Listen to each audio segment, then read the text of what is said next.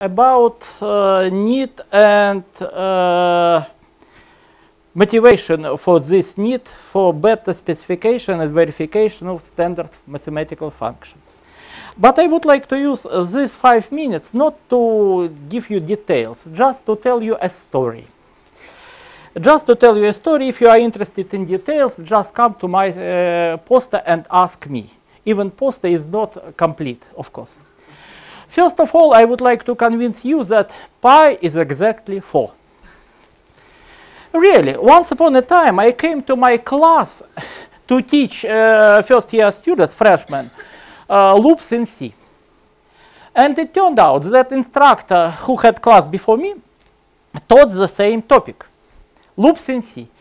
And he selected to teach this topic uh, Monte Carlo uh, algorithm to compute a pi approximation.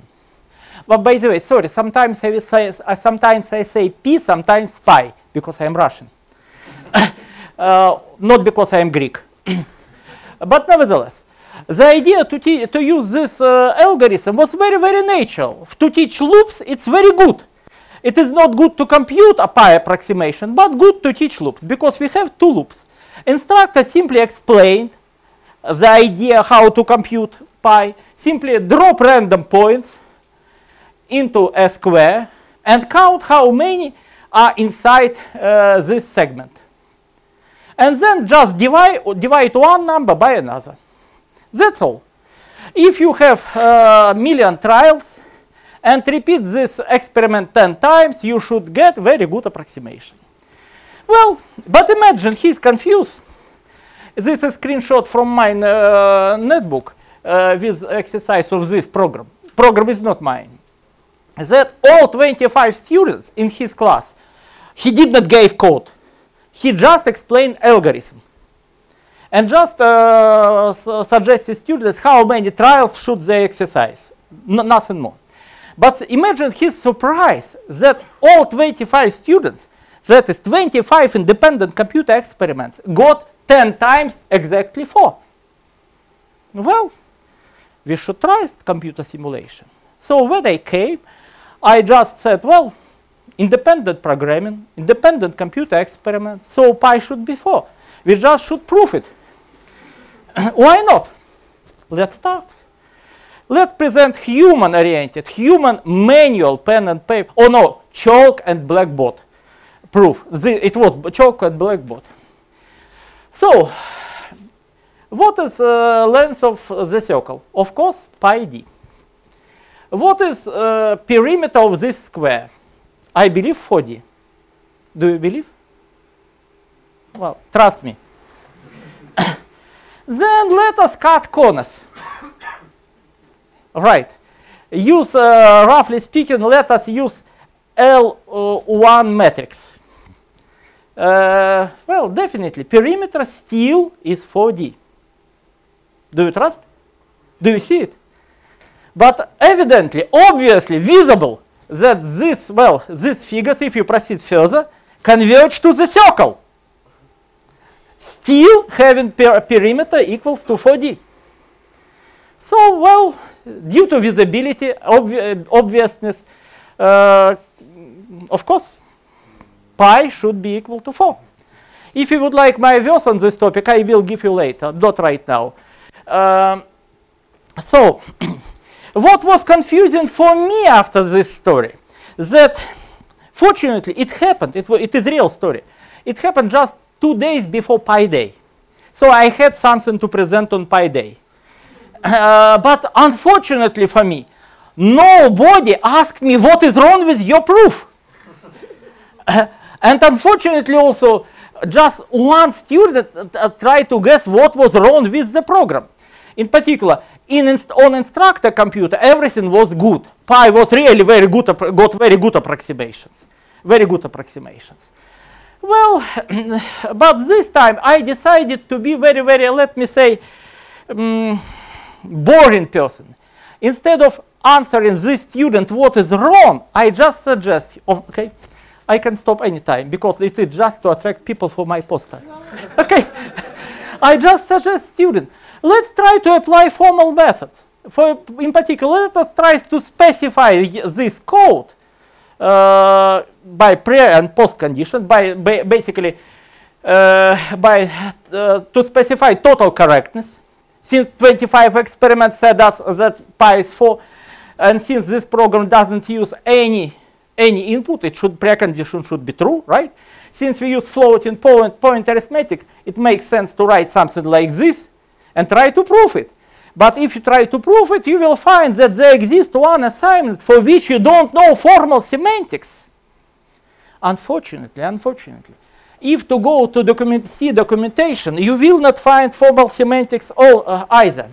Unfortunately, of course, it is just a citation from the standard, but it says too few about formal semantics for RAND, unfortunately. It is enough, basically it is enough to change precondition and prove that, okay, come on for my poetry.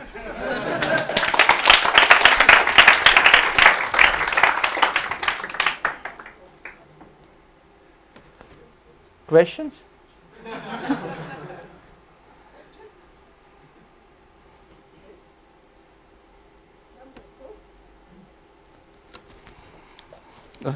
uh, sorry. Now it is your turn.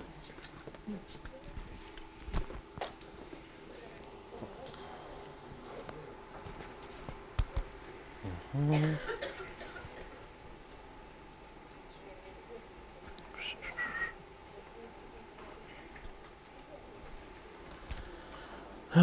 okay, okay,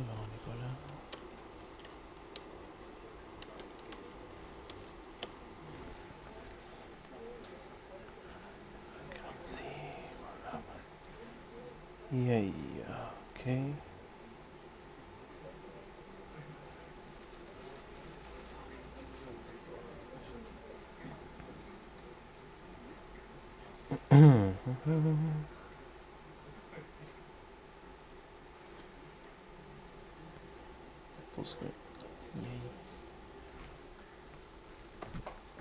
Okay, can you hear me?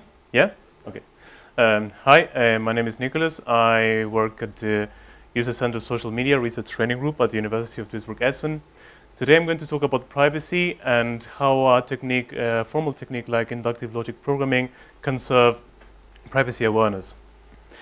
Um, so this was me at the beginning of my PhD when they told me, okay, we want you to work the area of privacy and we want you to work the area of privacy in social media. And why I felt so skeptical because um, social media is a space where we make our private life public. so for many, many years, privacy, privacy researchers have tried to keep private information away from public disclosure, and these spaces are designed for disclosing personal information. So here I have a motivating scenario for you uh, someone writes a negative comment about his or her workplace. And uh, of course, when this comment reaches uh, family, friends, nothing happens. When it reaches your work colleagues, bad thing can happen. For example, a wake-up call from your superior, bad image, and job loss. It sounds like a very Mickey Mouse uh, example, but this actually had happened in real life, and with even worse consequences. So my point is that users are not always aware of the content they disclose, the targeted audience, and their potential privacy risks, because it's a very unnatural space to communicate. When I'm communicating offline, I know, for example, how many people are in this room, who is getting my, my message, but when I go online, I mean, the audience are very large and diverse, and it's impossible to control and apply some and apply some self-censorship. Thank you. So uh, what can we do? So we can uh, we can define this as a problem of privacy awareness. Um, uh, some research has been done in this area. Uh, these are uh, this called privacy nudges uh, from researchers from Carnegie Mellon. They try to apply um, sentiment analysis to a Facebook post be before it's posted, and they were given the chance to the user to rethink if he or she wanted to disclose this information. So this information basically raised awareness on the content being disclosed and help people to avoid these unwanted incidents. Um, uh, what do you think that people react about it? I hate privacy nudges. Exactly, that's my point. So many people liked it and many people hated it. And why is that? Because in order to generate engagement between people and these technologies, you have to fo follow three, the three design principles. First, they should be adaptive, so they should take people's attitudes and intentions into account. Uh, the second one, uh, they should bridge the emotional gap between the users and the private digital data. What I mean with this, um, for example, if someone stops me in the street and asks me for my passport, I'm not that willing to give that information away because it's uh, I can feel it, I can touch it, but uh, when a computer, a screen asks me for this type of information, I give it more easily away. So there's a detachment, an emotional detachment between people and, and, and, their private data when this data has a digital support.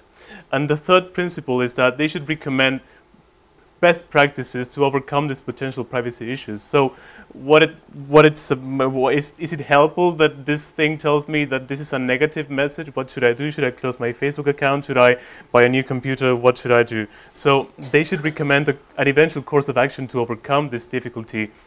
So um, uh, a privacy heuristic or a best practice that we can easily make it's, um, is constrain our audience under a certain criterion.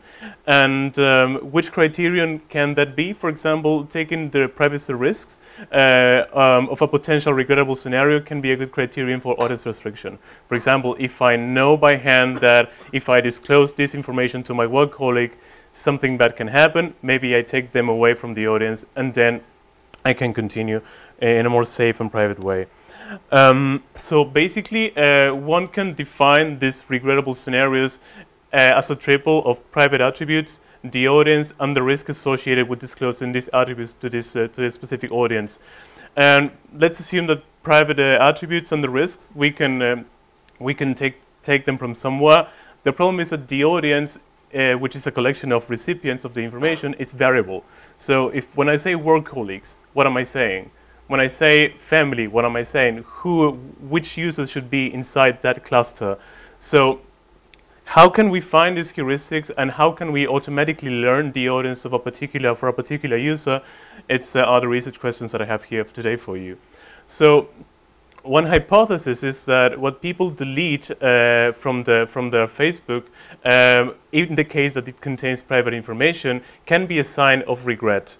And the other assumption is that um, so we can use uh, uh, an approach like inductive logic programming for learning the audience uh, using trusted, untrusted recipients as an examples. So uh, ILP, it's uh, basically a technique that allows to infer a hypothesis from a set of examples and some background knowledge. Um, uh, they are expressed as horn clauses and uh, this background knowledge consists about some pre-existing clusters, for example, risk, etc. Everything that we can use to build a clause that satisfies those examples.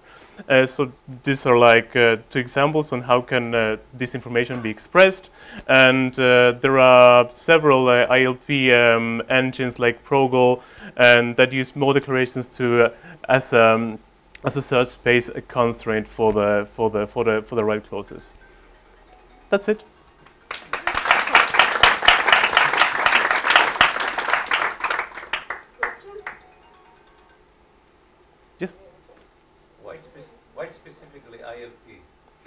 Um, well, actually, uh, I'll put my hands and my, my cards on the table. My background is mostly on human-computer interaction and artificial intelligence.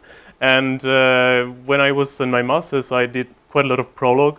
And it came so, so um, naturally for me to write constraints like that, like that in Prolog. And I said, how can I infer a Prolog rule, a predicate that can actually, with that, that I can train with examples? And that came just because of that process. Yeah. I have another approach uh, working with um, decision trees that could be more transparent in the procedure. And so if you want to do some compliance regarding some, some requirement, it's easier to, to track. But if you're more interested, I wait in the poster.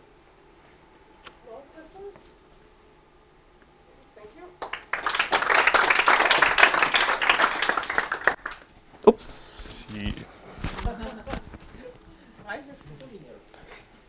I like the microphone. Don't take it with you to the bathroom. No. Did it happen to you? classical movie mesh, something, something like that happened.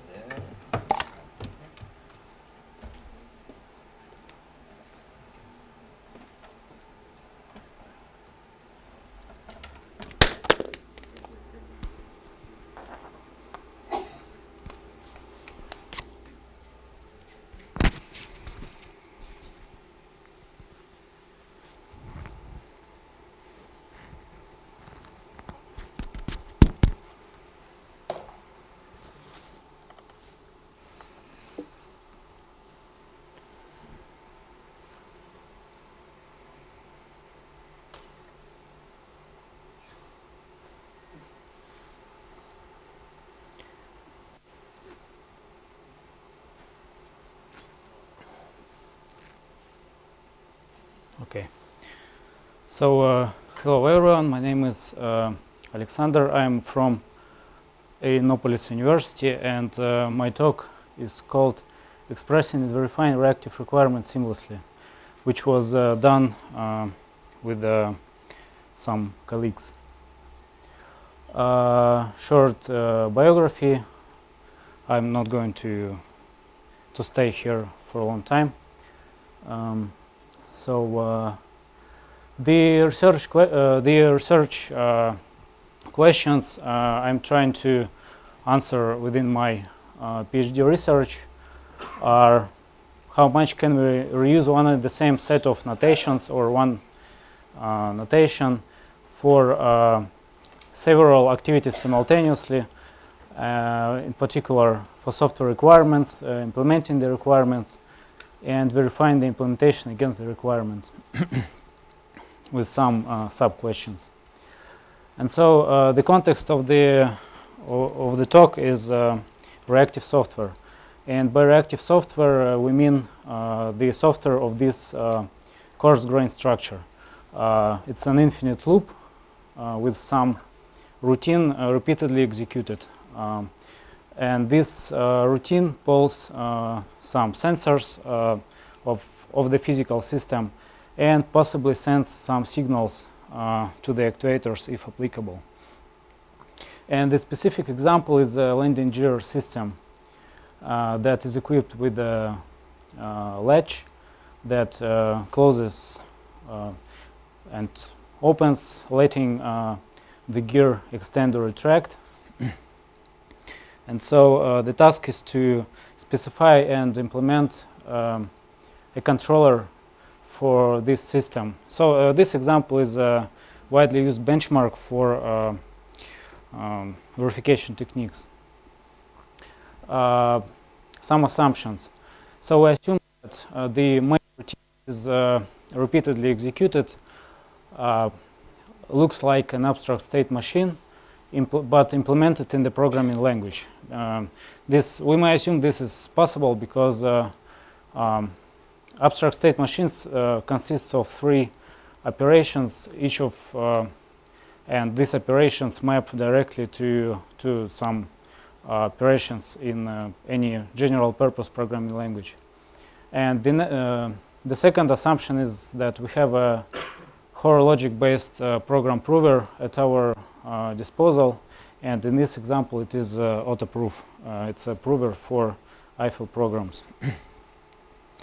Uh, an example, uh, it's from, from the study that explains the landing gear system.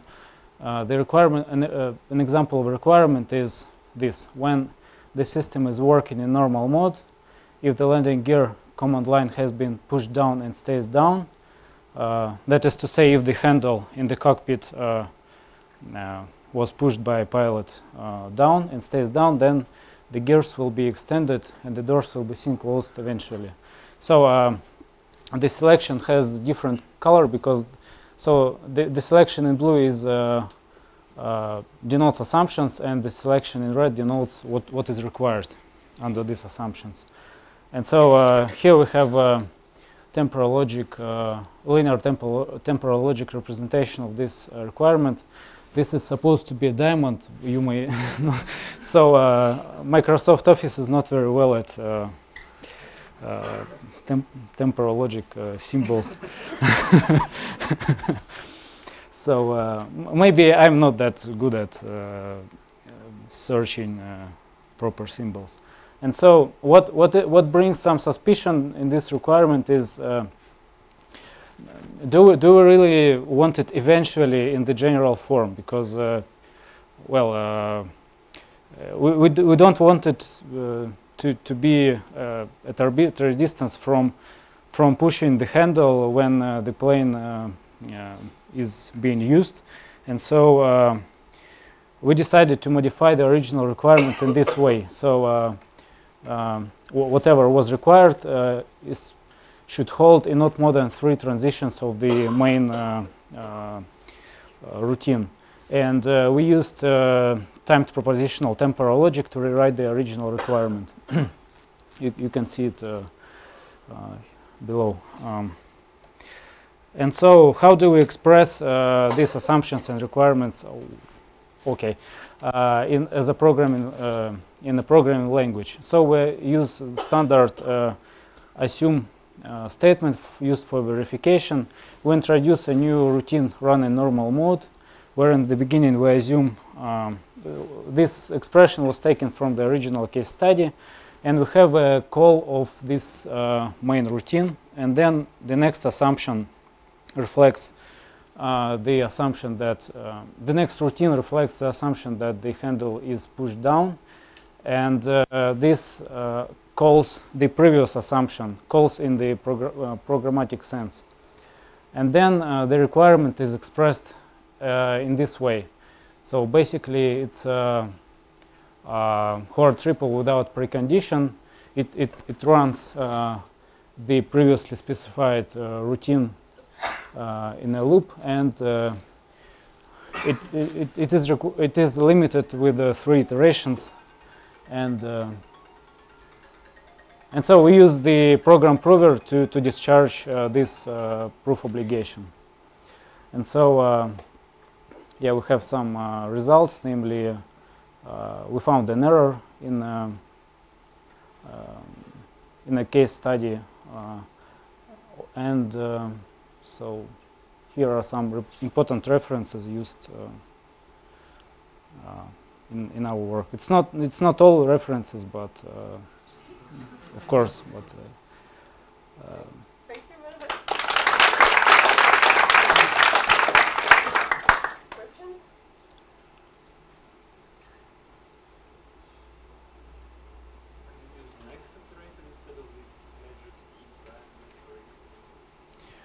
uh, instead of uh, what?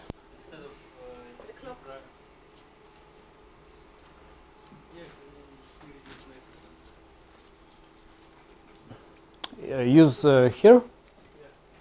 Uh, but well, next uh, means next the next state. Here we may be in. Uh, No, you wrote three transitions. Once you wrote three transitions and not three time units, depends what you want to say. So uh, originally the uh, the timed uh, propositional temporal logic means something else. I use this abstraction to. Uh, ideally, I should have uh, introduced uh, an additional variable to denote time and and use it for reasoning. And this is actually done in the in the in the article, but um, so uh, because I, that I was given a small amount of time, I decided to simplify uh, things uh, a little bit. But yes, You have to blame. Okay. uh, ye- Huh? Must specify that the normal mode happened at T and uh, push down. T, there is a quantifier over T. The beginning. Quantifies all T's, but it does not connect Yeah, the T. you need parentheses. Some Wha- parentheses are- where where? I mean, these are technicalities. Yeah. So uh, For- yeah. So so the, the most interesting part uh, is supposed to be on this slide, but uh, I was in a rush uh, reaching both.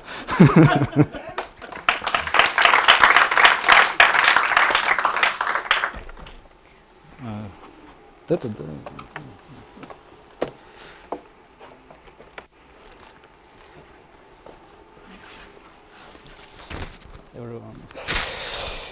Его увести.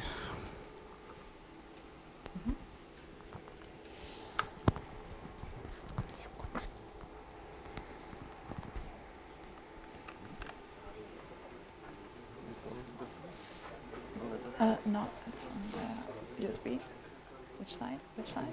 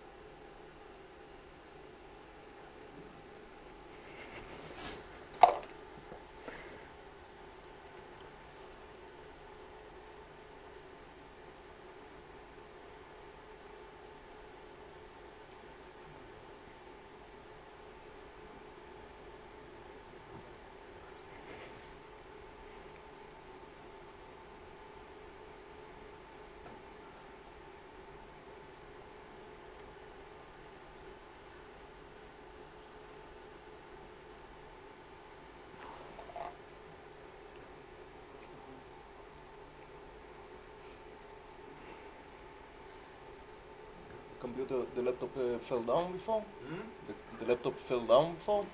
The laptop fell, fell down. Uh, where is the last uh, laptop that was used here? Can we use yours? You, you can take the one you brought.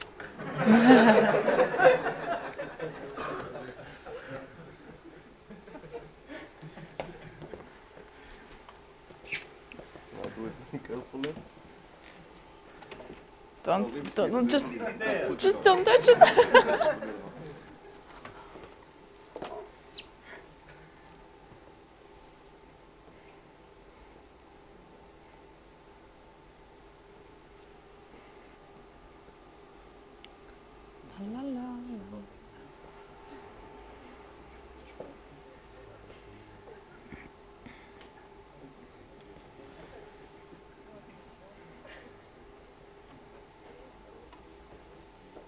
I just have a PDF. Mm-hmm. Okay.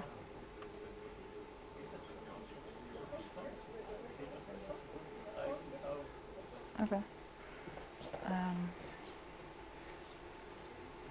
man, something is happening. Okay, I probably copy it to the desktop.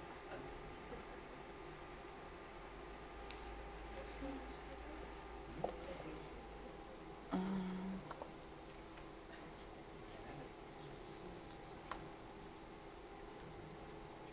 oh. Okay. Should be full screen. Why is it not not there?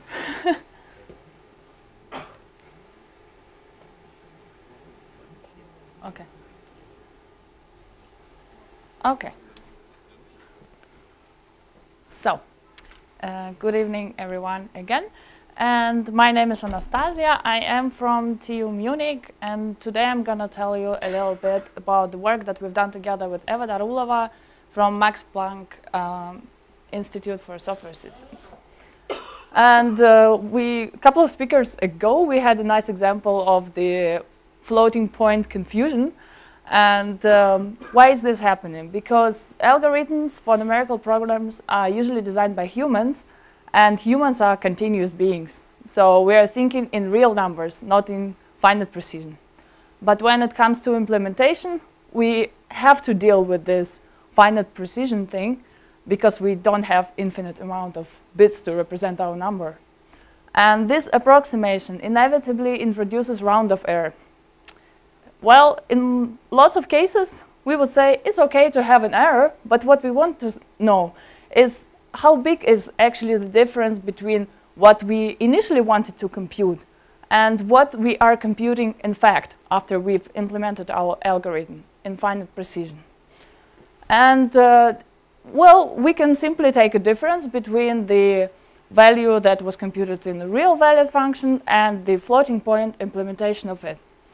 But is it good enough? So for example, if I tell you that we have an error like that, we cannot really say how big is the impact of this error until we know which of these function values we actually have.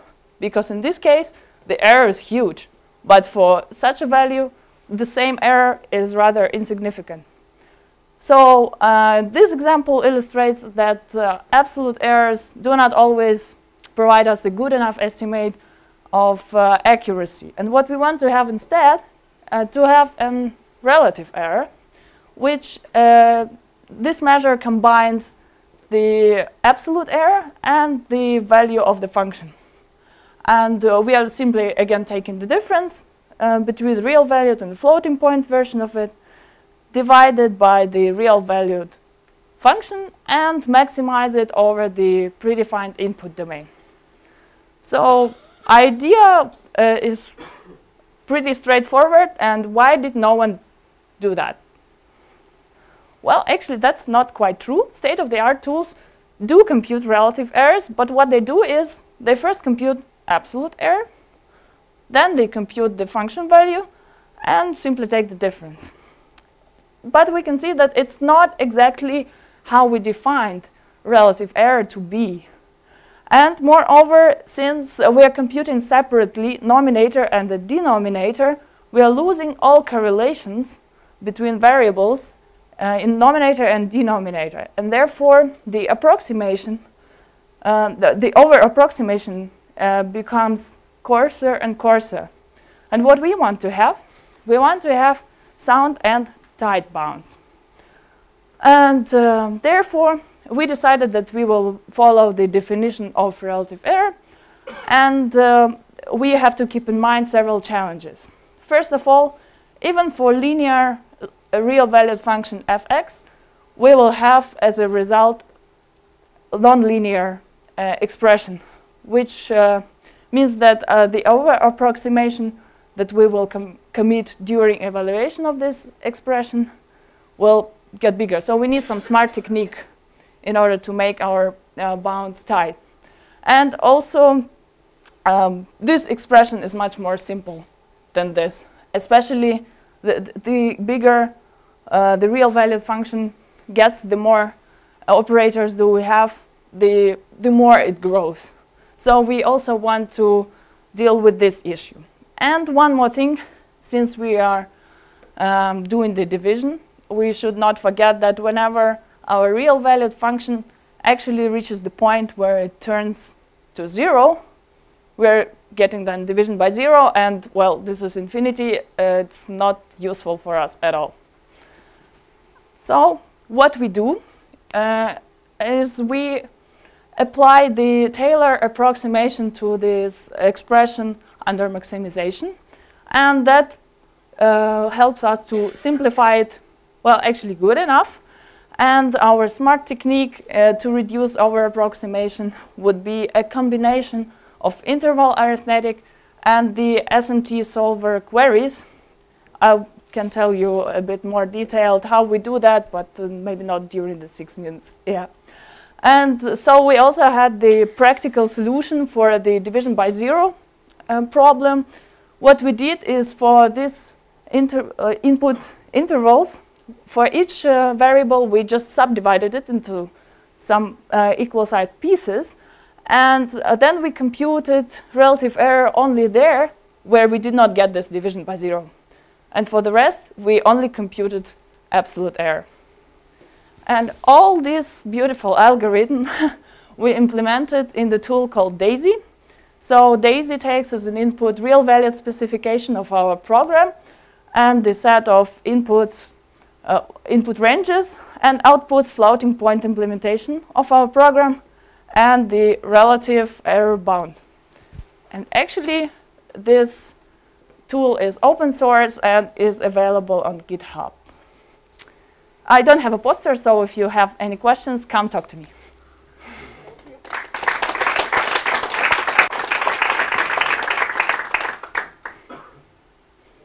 yes, I so can. I know that uh, Intel puts enormous effort to, to provide library of scientific functions.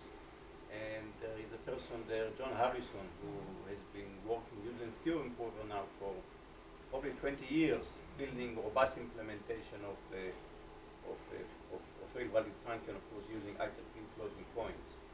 So I'm just curious, uh, how does this tool perform compared to a person who's been now been spending 20 years on doing this? Well, actually, I don't know. uh, well, we do not, like, uh, what is the name of the tool that... Uh, No, it's, it's Intel provide the library of scientific functions. Okay? I Yes. These are so tricky to do, and you have to know very much about how the floating point operations are really implemented in the Intel processor. So, I mean, they have a, a mathematician who will be working as a full-time for many years. That- on, Okay, uh, on, on doing. I agree. That would be interesting thing to check. I, I wonder why we did not. uh, we also like perform the abstraction of this floating point function, and we are uh, exactly using the IEEE standard for that. So we are uh, after we perform this abstraction, we are kind of dealing with the real valued function completely. So I don't know. No, no, it is not a question. It's just a comment. I, I tell it later to Masha. Okay. Well, yes. So you mentioned that uh, currently the way people uh, compute relative error is by taking the maximum amount of the numerator and denominator sectors. Yes. have you done any, any analysis on how much the difference? Yes actually yes. I just didn't have time to present that, but uh, there were uh, several benchmarks where the difference was about seven orders of magnitude, like computed using this state-of-the-art approach and directly how we do that. Yes. You said you were wondering why nobody did it like this before, like you did it before. And is there a reason for that, that the current state-of-the-art tools are not like using this for me, simpler, like way to do that? Like, Well, it's not exactly simpler because of the. Well, you need to um, to reduce this over approximation that you commit during the process when you obtain this bounds from the expression, and this is like if, if you just follow the naive approach, um, then your like your you, the bounds that you will compute will be too big, like too much over approximated.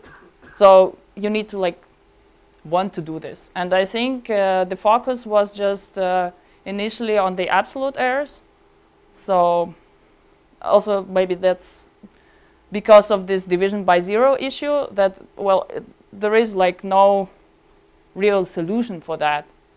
Um, there are the practical methods to like exclude this this point where it turns into zero, but uh, well, in fact, like if you have the zero, then you just So we want to look at the limit. This point, you want to look at the limit of the error.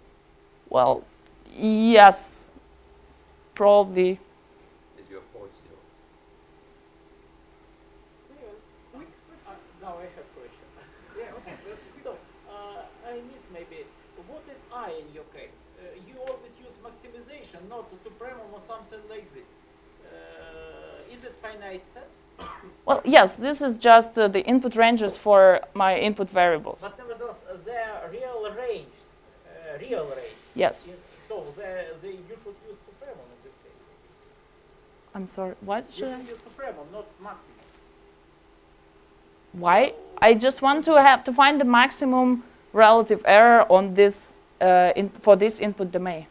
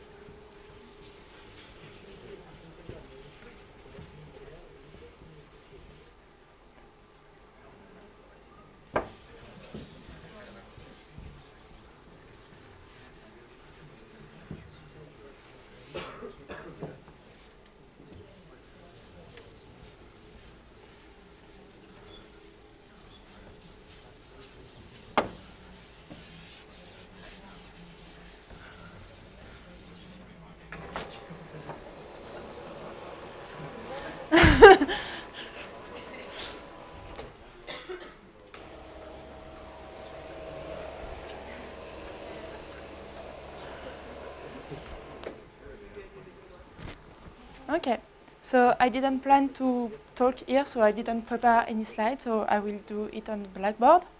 So my name is Laureline, and I'm just starting a PhD in Lyon with Damien Pous and Denis Kuperberg. So what I will present you is really ongoing work. Uh, so we are interesting, interested in uh, automata.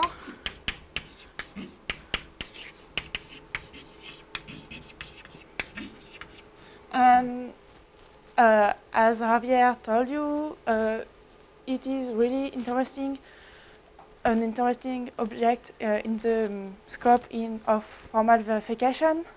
And one of interesting problem we have we have is um, the language inclusion problem.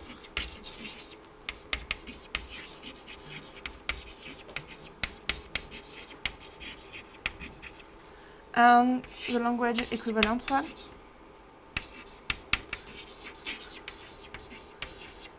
which is strongly related to the first one. So those are our problem because they are space complete.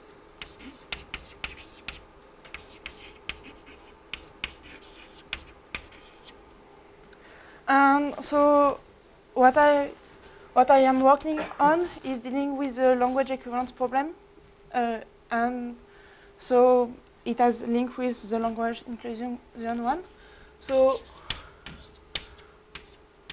we have two Büchi automaton, and we want to know if they accept the same language. And what we do is that we transform this problem into a problem on NFAs. So the automata are not equivalent, but the problem is equivalent. Then we determine it. So we have DFAs.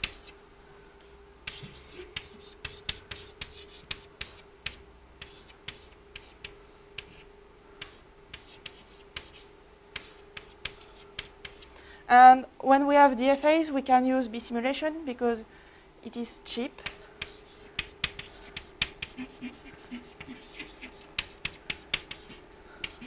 But the problem is that when we do those transformations, we have an exponential blow, blow up.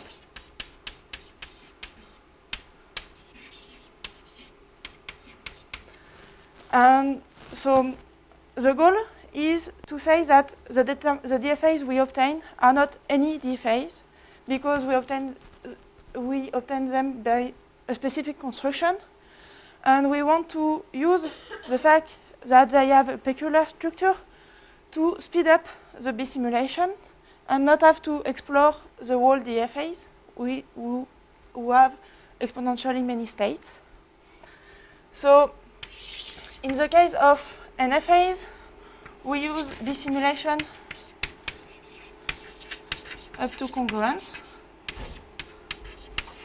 So that's a work which has been done by bon Bonchi and Pous in 2014. And the idea is that we, we have even more structure when we come from Büchi automata. And so we want to, to design to techniques that will allow us to cut part of the DFAs we obtain and not to have to explore them um, enti entirely. So um, so that's the plan. And what we have still to do is then to compare uh, what we obtain when we do this with existing method methods. So uh, in theory, but for this we need to have a common framework and also in practice because as they are p-space complete problem, we know that we won't have a good worst case complexity and so we have to do some experiments to know if it works well in practice or not. Okay. Do you have questions?